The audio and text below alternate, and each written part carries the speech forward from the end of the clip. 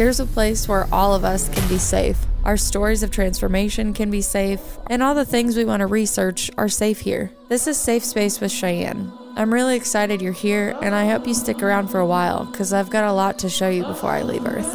I love you guys.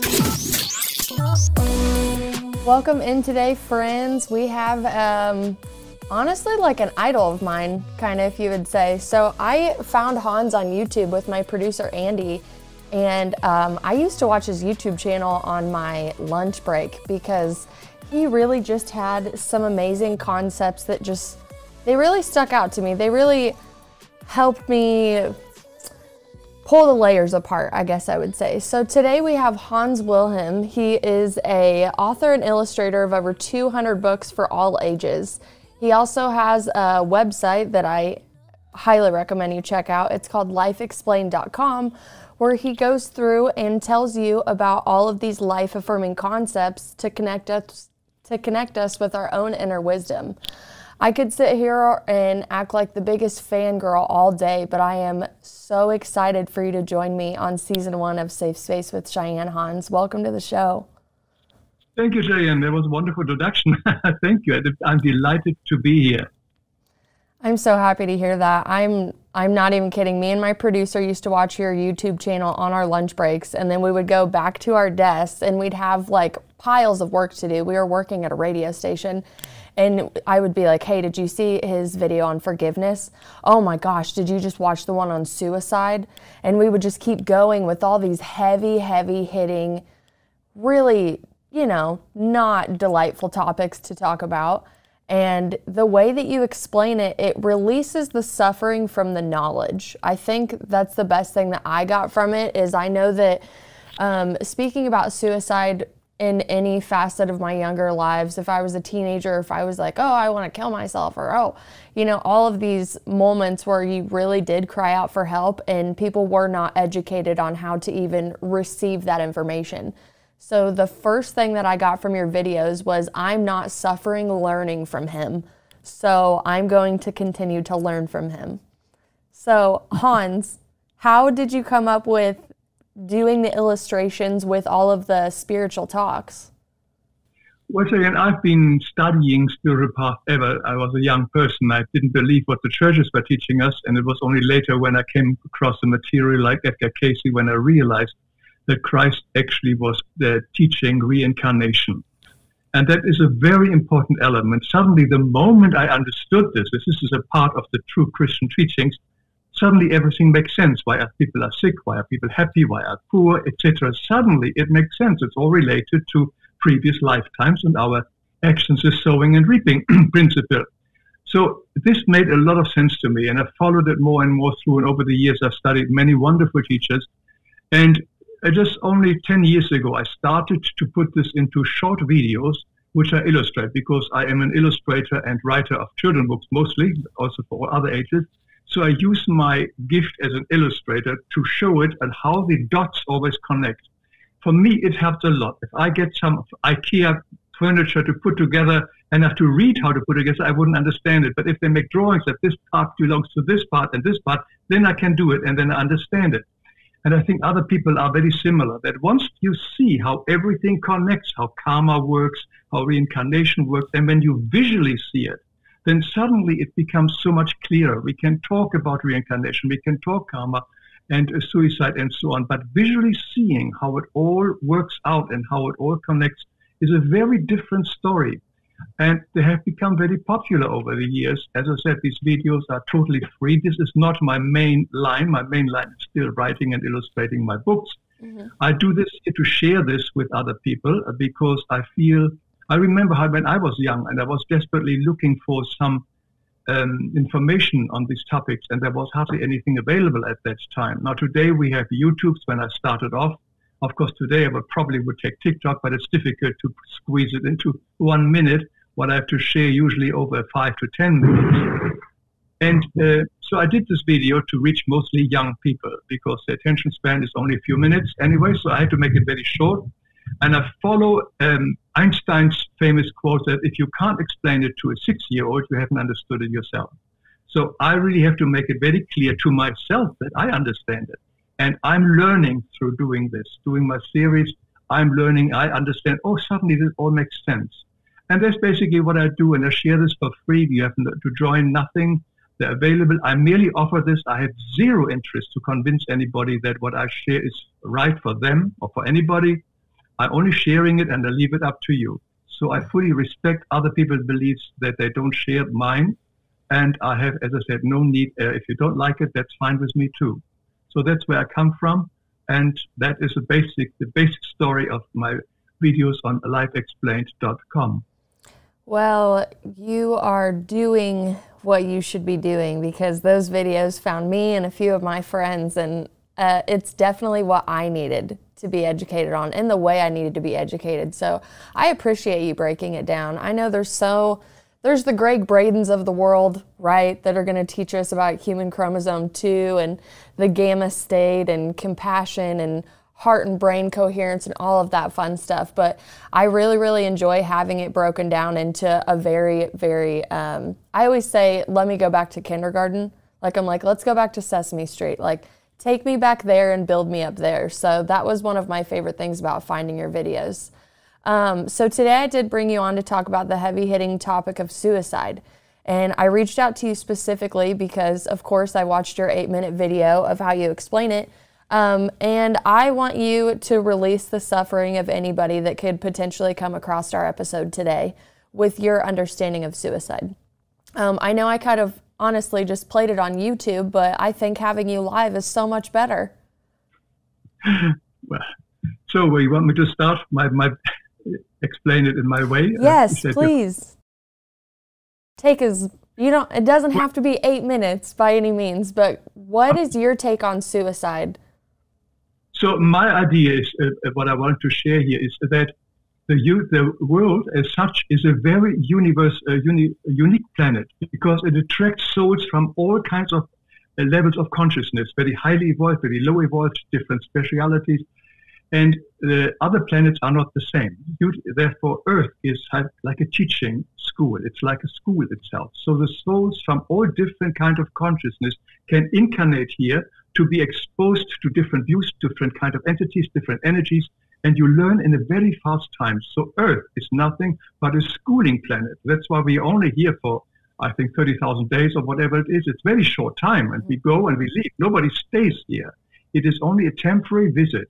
And from the perspective of spiritual life, it's only a very short visit, like a blink of an eye, like going to the movies for two hours and uh, totally absorb ourselves immerse ourselves into another story and then come out and be back in our normal life. And spiritual life is very similar. We come here like a short school visit and then we leave. So the time on earth is very, very, very unique and very special.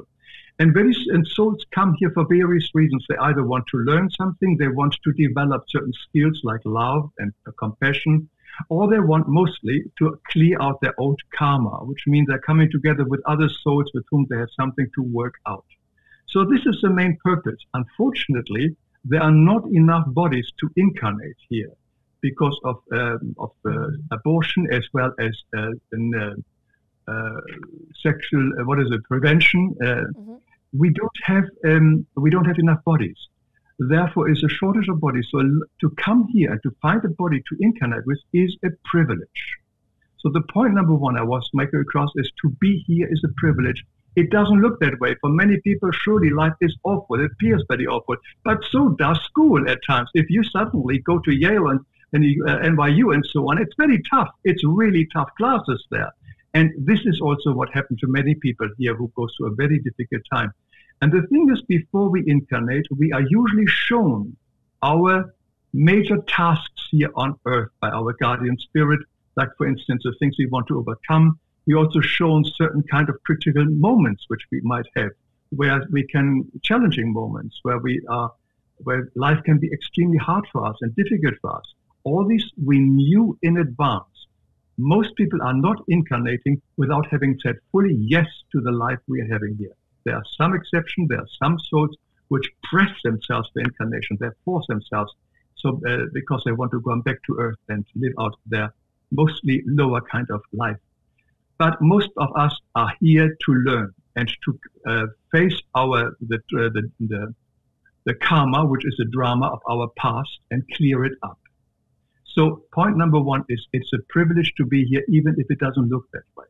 And because it is such a difficult school and such a traumatic school at times, we really feel like checking out. I think for anybody, everybody who lives long enough must have had thoughts of suicide. It wouldn't be quite normal. Never mind how wonderful your life is, but there are moments of challenging moments where it says, I don't want to deal with it. I want to get out of it. But hopefully, thank God, not many people act on it. It's just said like any other thought, something you have a sexual temptation and so on. You may have it in your thought, but you don't act on it. You do a lot of thoughts we have, we don't act on. And suicide is also one of these which come sometimes to us and we just let it pass and move on. But some people, unfortunately, really work on this thought more and more and sometimes get deeper and deeper into the possible solution, which they think is a solution of cutting down your life short here and just getting out of it. And there are, of course, many, many reasons why they do that. Sometimes because they really can't take the pain anymore, the loneliness anymore. Sometimes just even to, to teach the lesson to their parents or anybody else who, has, who they think has harmed them. Uh, so the reasons for suicide are manifold. And I'm not a therapist, and therefore I don't want to go too much on the uh, psychological reasons why many people do this. But I want to speak mostly about the spiritual side. So from the spiritual side, we can be on a very, very low energy. And this is also a time when sometimes negative forces, I would call negative entities, can even jump as well and really drain us even more. It makes it even worse. The vicious circle it gets more and more, and we feel more and more drained. The drainage can come from spirit beings who are really attaching themselves to us. And it's very helpful to us to really try to get out of this as much as possible. there are a lot of uh, different ways how a therapist would properly help a client to get out of it. That's why I always recommend go either to the ER room, phone the suicide helpline if you're serious about it, or go to a, therapist if you can. But something simple, something like this, really something ridiculous, but it does help physically, is exercise. Is making a very brisk walk, heavy breathing, and so on, just to get out of this negative funk because the energies are drained so low. And if we put really pump life, life is life force, breath into ourselves, it can bring us onto a much stronger level. So instead of sitting there, put up in our little bed or whatever and feeling sorry for ourselves, do we try to do the opposite? Very often we think we don't have the energy to do that. But we are never, ever alone. Nobody is here on this planet Earth alone. We always have divinity we can call God, and never mind how you believe in God, what God is. I think it's in within ourselves. The Bible says the kingdom is within us, so the whole kingdom is in us. We also have, if you are Christian, believe in Christ, the Christ energy, which is in the chakra, the force energy. And most of all, somebody, everybody has, irrespective of what you believe, is a guardian spirit. The guardian spirit is here for us not to make our life for us easy, It's here to warn us and to help us when we are in a critical situation and can guide us. And I've found it over and over again if you read the comments on my videos, particularly on the suicide and similar videos. They often stumble. I happen to stumble on your videos. This, this is a typical sentence which you only write because your guardian spirit led you to that. That's the only uh, reason. There is no, there are no accidents in life. You stumble on these things because you were pushed onto it and you to, to see that and to become aware of it. So we have the guardian spirit and we can ask these energy, God, Christ, the guardian spirit, to give us strength. Not necessarily what we want to change in our life, like better parents, a better school, or whatever it is, but to give us strength for the next hour, for the next day, to give us strength to pull through and guide us and back to the light and back to calmness, back to the inner peace and back to to a, to a more uh, to a more happier kind of content life. They are there. They are the whole purpose. Divinity is love. And the highest form of love is service. So when we speak about God, when we speak about Christ, when we speak about guardian spirit, we are speaking of energy which is purely there to serve, to serve us. And that we can always claim, always ask for, and they will be there and they will guide us and they can continue us. So that is a rough outline how I would do this, but now you may have some question. We can be more specific and whatever you feel you like to go, you like to go. Well, I'd like to um, point out something that you said in your suicide video from YouTube. And you were talking about how, you know, before you have the soul contracts, right? So, say you're supposed to be here for like 80 years.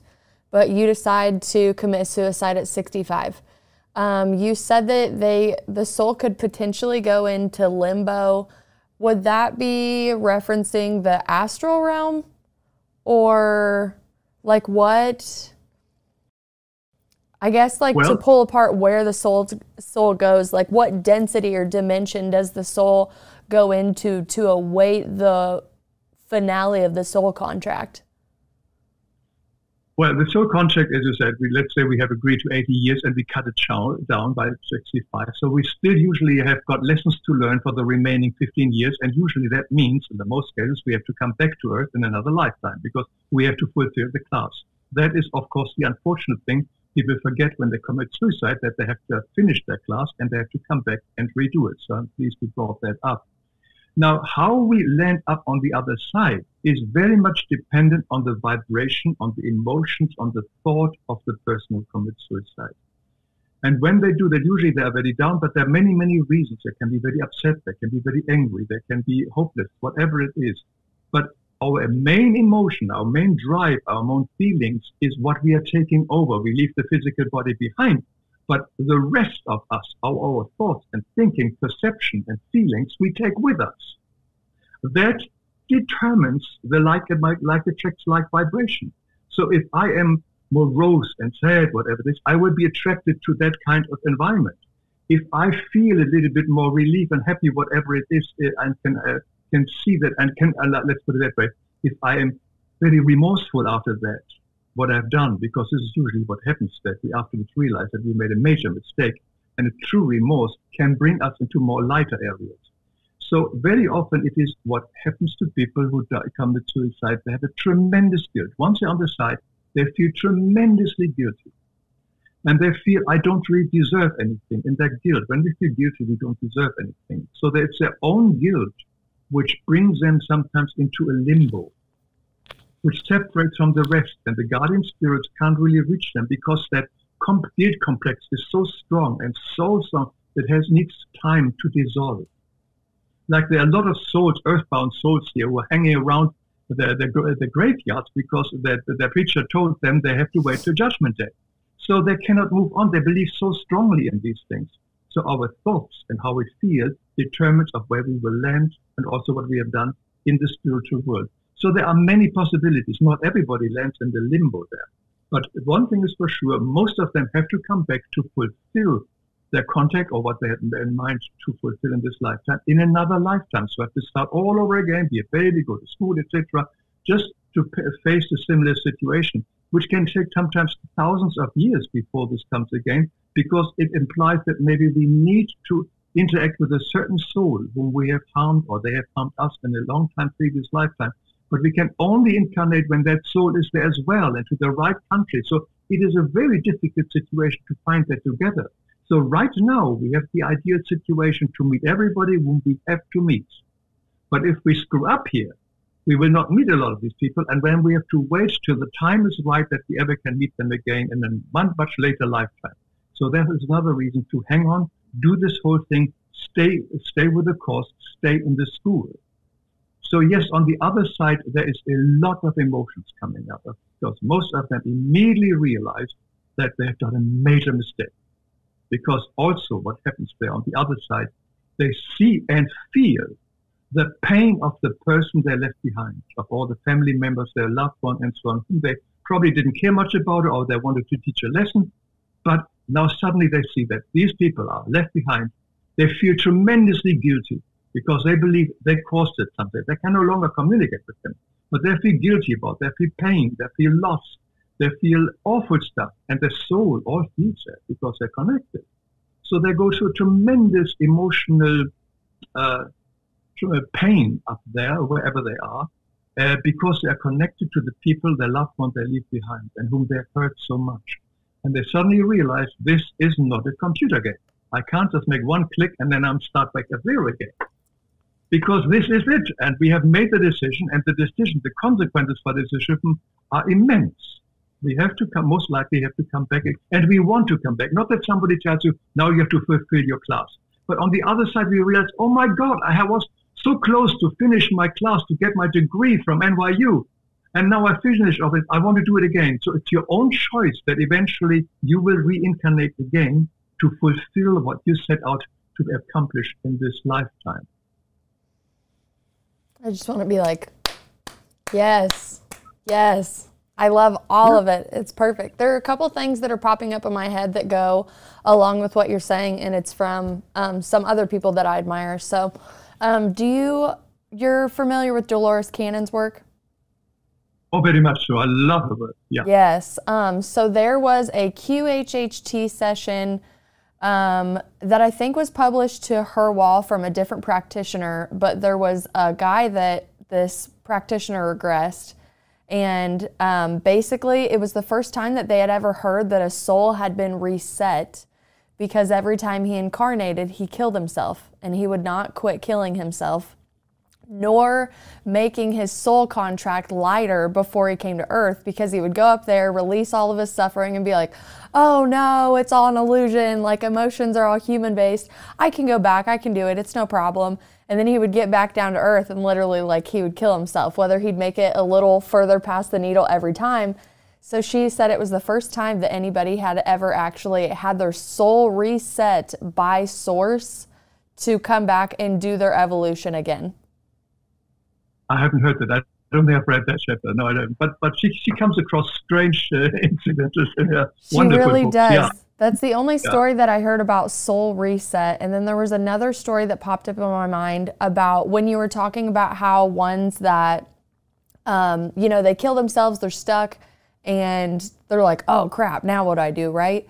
Um, my friend, he's actually coming on season three. His name's Barry Littleton. He crosses over spirits. So I interviewed him about um, what do they say to you, like why they didn't go into the light. And he said a lot of them um, just like you said with the graveyard, their preacher told them that they were waiting for Judgment Day, so they didn't go into the light because they were scared. He goes, But I've run into a lot of people that have killed themselves and they 100% believe that they're going to hell, so they don't walk into any light and they just stay on this plane. So, yeah. I mean, there are people in the world that can connect, like Barry can talk to them and connect and try to educate them. So I think it's really important to continue to have these conversations and get the word out and, you know, get on as many shows as you can to really educate people before they get to that point, before you realize, like, right, you are loved, you are not unworthy. But one of the biggest things that I realized in my relationship with suicide is the unworthy complex. And I had no idea where that unworthiness actually came from and I did a QHHT session with a lady here in town. And I said, two of the things I struggle with um, just for my own shadow work is unworthiness and um, loneliness. And I would really, mm-hmm. really like to know where that stems from because I know that I had to bring it into this life with me. So when we did my regression, we regressed all the way back to my soul origin and where I would have been on the theory of Dolores Cannon's like signal going out into the universe. So she hmm. was like, Where were you when you heard Dolores's signal? And then I was like, Oh, I was home. And she's like, What does home look like? So I started um, explaining all the people that were around me, all the things I was seeing, colors that do not exist on Earth, like all of this stuff in this theta brainwave state. And um, I remember coming up from it. It wasn't a very deep regression, but I still remember coming up and feeling that um, release of suffering of the unworthiness and the loneliness. And I was like, oh, it really is all tied into the soul and the consciousness and wow, all of this is connected and all makes sense, kind of how you how you go back into. Um, but one of my questions that keeps repeating in my head is how through child's author and you i guess having your own soul questions when you were younger i mean how many years have you been researching all of this to come to the understandings that you have today well the understanding of what i'm sharing so far i've been here for a long time i mean it came very early because i think i I started when I when I was 18. I did TM and personally realized I can change my life around by just but just go into meditation. I don't have to be so uh, upset or anxious or whatever it is. So the power of thought came very clearly. Then Edgar Cayce And that is now how many, but uh, 60 some years ago, 65 years ago, whatever. It is a long time when I started. So over, it came over the years, and more and more I learned it, and more uh, the more I studied it, more I found it more confirmed. So this works for me. As I said, it doesn't work for everybody else, but this is I only share my understanding, and I'm learning continuously. I am I don't have a gift of channeling. I have no way any spiritual kind of special gift. I just understand it because I wanted to know about it. And once I saw and what I learned over time, the most important thing I learned here as well is God is ingenious simplicity. It is not complicated. All the things which I have on my video, which are the important things of life, why we are here, where we are going, are very simple, straightforward. There are no secrets. We don't have to study for years and years some very thick books. The answers are all in us. It's all very clear and very straightforward. God does not hide from his children anything. So we can learn it all and we can grasp it all, and the answer is always love. It is sort of whatever we do, we are only here to love. That's the main reason. I mean, it's a very sort of sound way, but it is it is what it is. This is why we are here. We are here to learn to love again, because that is our original um, default setting. And we have learned, for, forgotten over the years, from incarnation to incarnation, we have done a lot of unloving stuff. And we just have to clear it up and learn from it and then move on and to become love again. The highest vibration is love, and we are slowly going back to the highest vibration from where we once came.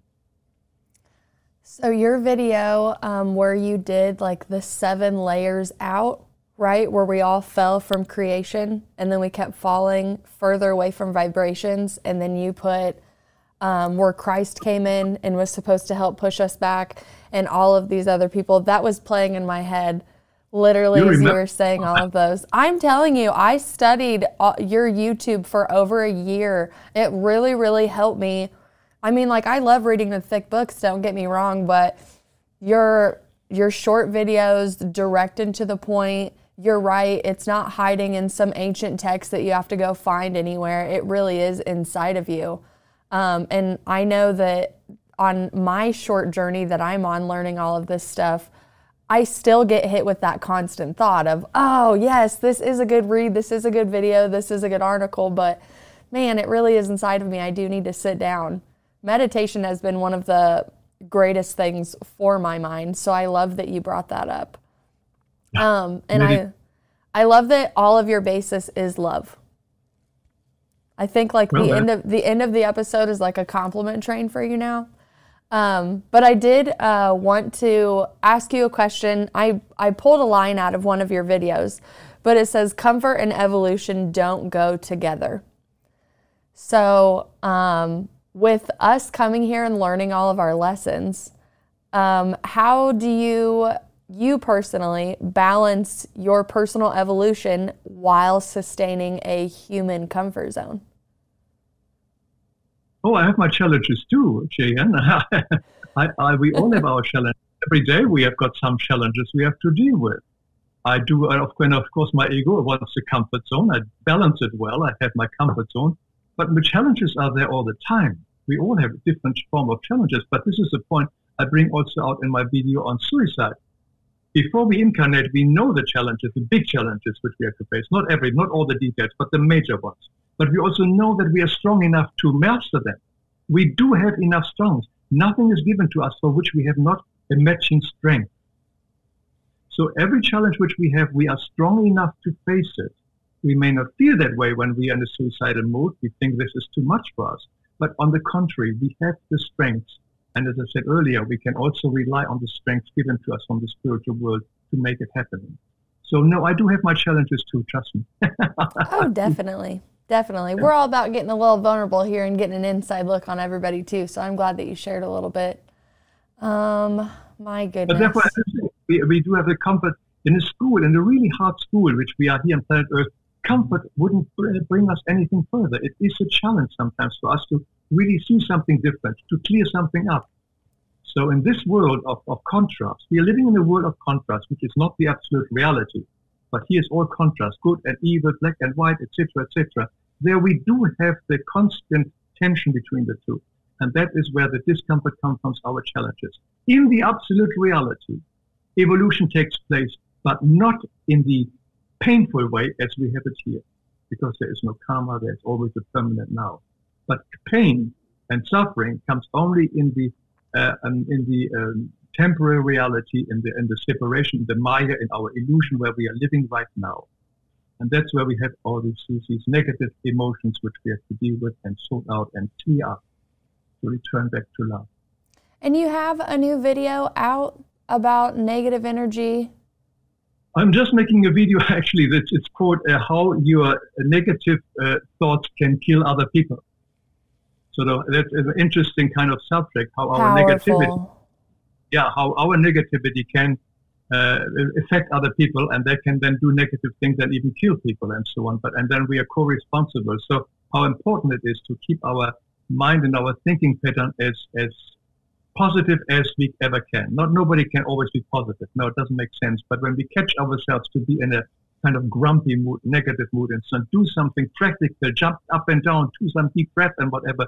There are many different simple things we can do, but don't don't uh, indulge in all these negativities because they thoughts are living entities. I have a video on that one, and they really they are like attracts like they're whirling around everywhere where we go, and they're finding people who have similar vibration, and they make issues bigger, bigger, bigger than they need to be and they should be. So that is just one of the new videos which I think I will release in two weeks' time. Something. I am very excited to see anything new that you produce, but that video is right up my alley because I speak energy. I study yoga and Reiki on my time off, air quotes, right? Um, and energy and the thoughts and reprogramming your brain. I mean, it's all I live for these days to do and get away from. And I still, like you said, have challenges.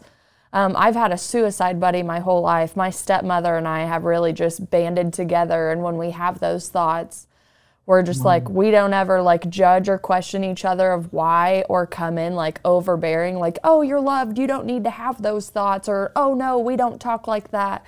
You know, like we were really like, okay, so let's really figure out what what is pushing on what part of our brain, what part of our body, what chakra is blocked, what inner child issues coming into play. Like so many modalities have helped me really hone in and figure that out.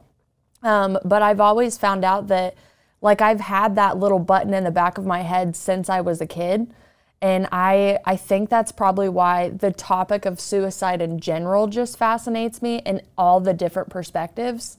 Yours again releases my suffering while I study it. I don't feel guilty for having the thoughts when I listen to your research, which is why I'm so grateful that one, you're doing what you're doing, but then we get to be here too.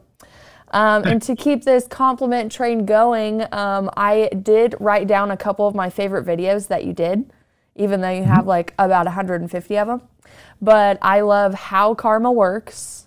I love the one on forgiveness, especially when you um, put the person in jail in the illustration Oh man, I cut so many cords that day when I watched that video. I was like, oh, I refuse. I refuse to guard these people. And again, studying energy, you understand that every word you speak, every interaction you have, you're tying a cord to somebody, especially those negative ones. So, just again, you're right, watching the illustrations, I was. I'm telling you, I have a selenite knife right here, and I use it all the time in my meditation to do all my cord cutting. And that day, I just felt like a massive amount of relief. So, that video, for one, mwah, love the forgiveness one. I recommend it to everybody who is even like, oh, I got into a fight with my friend. I'm like, well, listen to Hans Wilhelm's video on forgiveness and you will quit being mad today. I promise you. Um, five facts about soulmates. Probably one of my favorite. Um, and it's because it really, really um, tests my core beliefs that I too have been studying for about 11 years on the soulmate, twin flame, just soul concept topic. Um, and I really, really like your take, and I really want to believe all of it. And I'm still on the fence about it, but I've watched it a few times over the last few weeks with a couple other research things I'm doing. And again, I just really appreciate the perspective.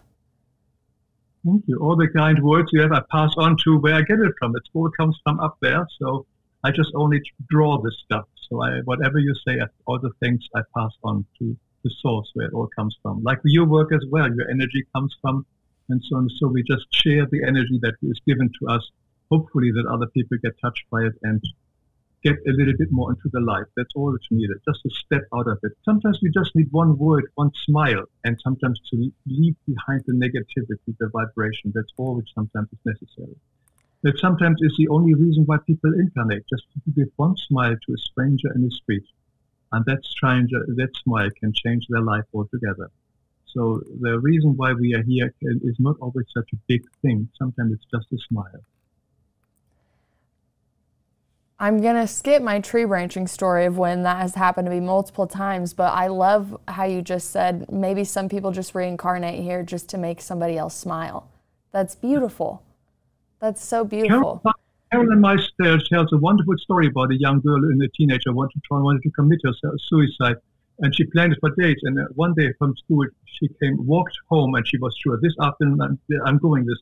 And she was walking, crossing the street, and suddenly a car came and stopped right in front of her, nearly would have knocked her over. And she looks up, and there was this woman driver in an SUV, and she had this broadest and warmest and happiest smile. And that went right through that young girl. And it did everything to her. And she left the street, and she just uh, never committed suicide as far at that time. It changed. The smile suddenly got her out of her negative funk. Right, just that smile saved a life. That's why I'm saying sometimes it's only a smile which is needed to change somebody else's life. I always think people that smile at strangers are the kindest people. And I mm-hmm. used to, I mean, I used to have my glasses on and, you know, everybody looking at everybody, but I would like never smile just because I was a little scared and introverted. And now I really try to smile at everybody. And after mm. COVID, mm. people get a little weird about it still. They're just like, why are you smiling at me? I'm like, because I love you. I love everybody. I'm a golden retriever in a human body. So. That's a lovely one, yeah. yes. So before I wrap up, I do want to read your quote. Um, it will be all over my social media, but I wanted to make sure that it got on the episode as well because um, I identify with this profoundly. You said, My wish is to inspire viewers to explore spirituality and to look at the bigger picture perspective of their life. When we see how everything fits together and there are no mistakes, we will be we will begin to grasp the perfection and the love that is the foundation of everything. Bravo. Thank you, Cheyenne. Yes. Do you have anything else that you would like to say to all of our viewers and all of our friends today? Anybody out there that might be having a hard time, you can be like, hey, don't give up.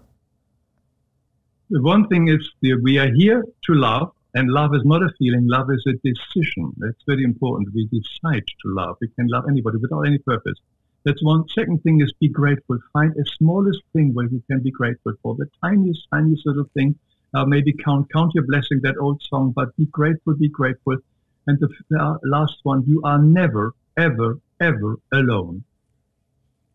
So I think that I think uh, three things where we can sort of maybe focus if we wish to.